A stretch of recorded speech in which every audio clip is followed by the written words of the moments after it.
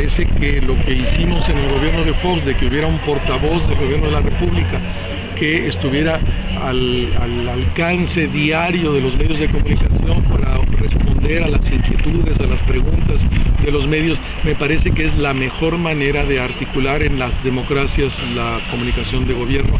Y pensaría que cada gobernador debería tener un profesional que hiciera eso, no oficinas de comunicación que hablan para regañar a los medios o que hablan para comprar a los medios, sino un espacio de argumento y de razón y que, que eleve el nivel de la relación y el intercambio entre poder y, medios. Y en ese sentido, eh, yo pienso que eh, fue un error del presidente Calderón eh, haber eliminado la figura del portavoz, que tiene un lugar y una presencia en sociedades claramente como la norteamericana, donde el portavoz de la Casa Blanca día con día sale a enfrentar a los medios que tienen preguntas, dudas y los medios representan al conjunto de la estructura social y por eso pienso que eh, volver a viejos modelos comunicacionales que eh, se superaron el gobierno del presidente Fox me parece un enorme error del presidente Calderón.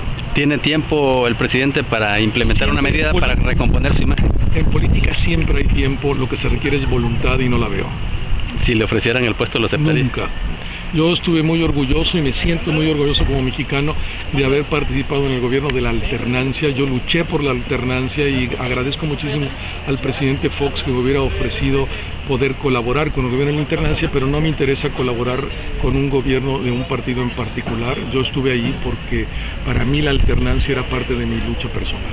¿Cómo se siente usted eh, como persona el haber servido para ese gobierno de Me siento eh, lo vivo como un privilegio, vivo como un privilegio haber visto la alternancia para lo cual yo en términos políticos desde la ciudadanía a través de movimientos como como eh, Movimiento Senado para la Democracia, como Alianza Cívica, como el Grupo San Ángel, todos grupos en los que participé buscando que se democratizara el país.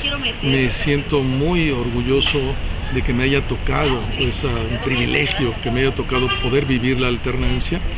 Eh, dos, un privilegio enorme el haber podido estar en el gobierno de la alternancia y servir a mi país desde ahí.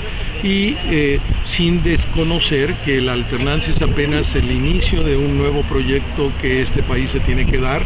Estamos muy lejos todavía de eso, pero estamos en camino. Lo otro ya era siempre lo mismo, era la paz de los muertos. Y este país hoy se mueve, hay ruido, hay discusión y a veces los mexicanos nos asusta porque nos acostumbramos a una cultura de la sumisión, a la cultura del silencio y a veces nos escandaliza el ruido. La democracia es ruido. Se le ha ridiculizado a Vicente Fox lo mismo que se ha hecho también en algunos aspectos con Calderón. ¿Está mal ahí la sociedad mexicana? No, esto es perfecto. Debería de ridiculizar mucho más. En Inglaterra hay un programa, de Los Peluches, que tiene más de 20 años que se destroza la reina. Debería haber más de eso, caricatura. La caricatura es periodismo y la caricatura, uh, debería de haber caricatura en la radio y debe haber caricatura en la televisión también, como la hay en los periódicos. Es una manera de ver la realidad es un aporte este, a la discusión.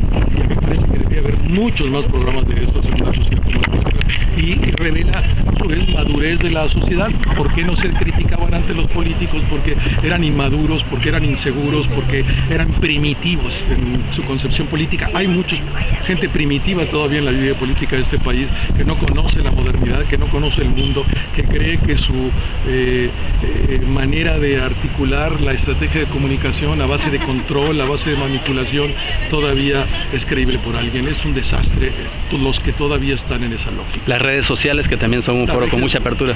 Importantísimas, este, juegan un papel vital.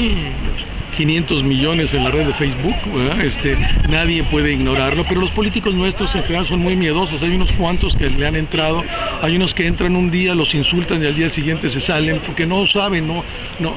La reina de Jordania, la reina Rihanna de Jordania, que es la que más tuiteros del mundo tiene, tiene algo así como 5 millones de, de seguidores en su red de Twitter, dice, y yo estoy absolutamente de acuerdo con ella, que eh, estos medios, estas redes sociales, eh, nos hacen a todos iguales. No hay reyes, ni hay eh, princesas, ni hay mm, súbditos ni hay. Hay ciudadanos que se comunican por ese instrumento, pero hay una clase política nuestra que no, no tiene talante democrático y le cuesta que ser tratado como igual. Faltaría también que aprendan a recibir el mensaje y también actuar en consecuencia. Desde luego, les falta mucho por aprender. Primero ser demócratas y después, en razón de eso, entender cómo estos medios profundizan y consolidan la vida democrática. Le agradezco muchísimo su tiempo, don Rubén Aguilar. Un saludo para la gente de Cuatro Digital que lo está viendo. Un saludo a la gente que sigue tu portal y uh, invitarlas a que se informen. Es, la información es poder y necesitamos todos los ciudadanos tener mejor información para tomar mejores decisiones. Gracias, señor.